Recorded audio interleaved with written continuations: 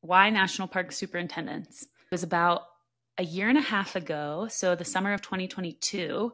I was visiting my younger sister up in Seattle, having dinner with some of our family friends. The wife, she has two sisters, and one of the sisters, she was a park ranger and met another park ranger, and they ended up getting married. And this said, like, husband of hers, however many years later, ends up being the Yellowstone superintendent. I remember at that dinner, Yellowstone had just had a really big and devastating flood, and they were talking about everything he was having to do to kind of manage that. They were talking about his experience. I honestly was floored. Like, I remember the rest of that night, I could not stop thinking about the park superintendents. My family literally was like, Maddie, chill. Just got really excited. And then that's kind of when I started telling everyone.